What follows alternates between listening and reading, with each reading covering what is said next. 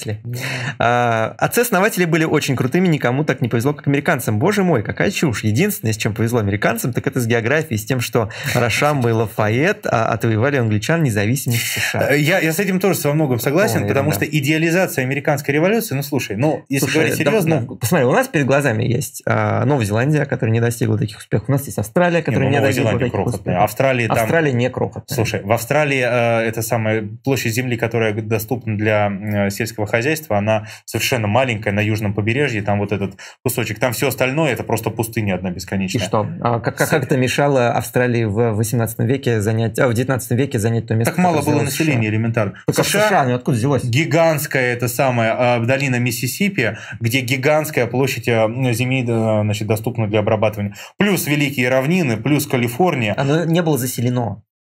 Так Австралия тоже не была заселена. Вот об этом и речь. А вот тот, так Австралия, нет. Если... Та плотность населения, которая сегодня существует в Австралии, а, превышает плотность населения нет, США. Миш, ну, слушай, а... в, в, в пустыне в Аризоне это... плотность населения намного ниже, чем в Сиднее. Ну, как бы... так, а, так, а, а плотность населения в Сиднее сопоставима с плотностью, э, с плотностью населения в Нью-Йорке. Нет, ну слушай, нет. Я, я на самом деле не очень верю, что Америка, значит, оставалась бы там Новой Зеландии. Точнее, совсем не верю, если бы в ней не было американской революции, что не э, говорит о том, что американская революция полная ерунда. Америке очень повезло с географией. Америке очень повезло. Ни одной другой стране не повезло, потому что... Ну вот Южная Америка так, так действительно... В Южной Америке да. там бесконечно эти самые... Там отходишь чуть-чуть от берега, там дальше джунгли, которые не, не... Ну, по крайней мере, с традиционными методами сельского хозяйства, они не пригодны для обработки.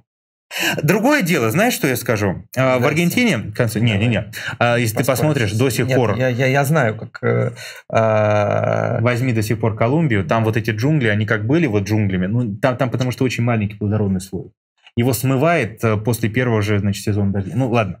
Mm. Другое дело, что посмотри, вот есть Аргентина, да, где, а, значит, ее начали осваивать толком в конце 19, ну, во второй половине 19 века. Если что, в Чили нет никакой, никаких джунглей. А, ну, так Чили и не такая, ну, как Чили вообще там крохотная, значит, полоска это самая, ну, и дальше горы. Она, она просто... Ну, она длинная, она расстояние, значит, от севера Норвегии до юга Испании, это правда, но там полоска обрабатываемой земли маленькая. Ну, конечно, в Бразилии. Ну, в Бразилии джунгли Бразилия. не, не целиком покрыты джунглями. Почти все покрыты. В, в э, дельте Амазонки нам практически невозможно вести. Там дороги невозможно построить. Они немцев зовут строить дороги, немцы им строят дороги. Дело, дело, дело не в географии. Нет, я согласен, что одной географии, то есть одним географическим детерминизмом в духе Монтескье все объяснить нельзя. Есть пример Аргентины. Они начали ее осваивать во второй половине 19 века. До этого там была, значит, маленькая полоска земли. А начали, а, значит, грубо говоря, я про это писал, кстати, у себя на Патреоне, с появлением там новых винтовок они смогли победить, значит, местные племена кочевые, mm-hmm. которые там были. И Аргентина в начале 20 века была на уровне развития Соединенных Штатов. Они смогли освоить эту гигантскую территорию, они стали там чуть ли не крупнейшим поставщиком мяса в мире. Да. И э, у них, в общем, все было очень хорошо. Сегодня Аргентина втрое беднее, чем Соединенные Штаты Америки. Да. Почему? То есть одной землей все объяснить нельзя. Уж, по крайней мере, в современном мире, если бы все было так просто, то, не знаю, Казахстан был бы э, богаче, чем Люксембург или чем Швейцария. Я просто уточняю, я не хотел глупость сказать, ну, поэтому давай, я давай. уточняю а, состав экспорта Нет, сейчас-то а, понятно. Бразилии. Нет, ради бога. Мясо и пищевые мясные субпродукты 63%. Это структура российского экспорта в Бразилию.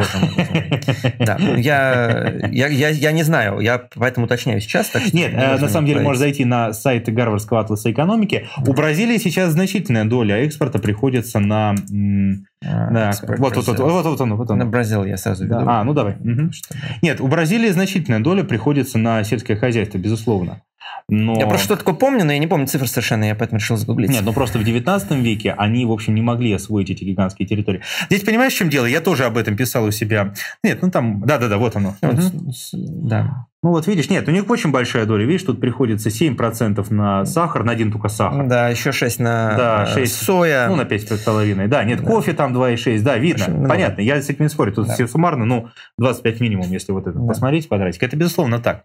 Есть еще такой момент, что я про это писал подробно, про это есть э, знаменитая статья, статья Германа Соколова, что специфика э, значит, сельского хозяйства в Латинской Америке, не буду сейчас даваться почему, там технические особенности, ограды, неважно, она способствует способствовало созданию крупных плантаций, где было эффективное использование принудительного труда. А в Северной Америке было эффективное использование маленьких фермерских хозяйств. И в Южной Америке в итоге...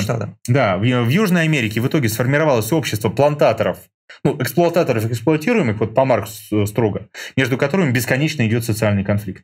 Либо плантаторы хотят, значит, защитить всеми силами свою, значит, доминирующую позицию, либо эксплуатируемые, вот эти вот, значит, потомки этих самых, значит, рабов на плантациях, они хотят все взять и переделить. И это бесконечный конфликт, который у них идет 200 лет. Я не помню, кто это сказал, а, вот кто-то сказал, что, сейчас, может быть, даже вспомню фамилию, нет, в гражданских войнах в Латинской Америке всегда побеждал юг. Ну, в смысле, конфликт севера-юга в США, да. И вот в Латинской Америке в таких гражданских войнах обе стороны всегда были югом. На, а, значит, в Северной Америке победила, в конце концов, вот экономика этих маленьких фермерских хозяйств. Равно как в Канаде, кстати говоря. Ну, а, в Канаде-то не был такой истории успеха, как в э, Соединенных Ну, как сказать, Канада, в общем... Нет, это благополучное государство, да. но это не государство, которое определяет но... развитие чего-либо. Это правда. Но нет, с этим я согласен. То есть то, что, в принципе, э, революция сделала США более успешной страной, чем если бы она оставалась британской колонией, ну, уже хотя бы потому, что король выступал против э, значит, экспансии американцев за Апалачи. Ну, потому что там индейцы, и у него там были особые отношения с индейцами, там, значит, ну, в общем, там сложная эта вся история.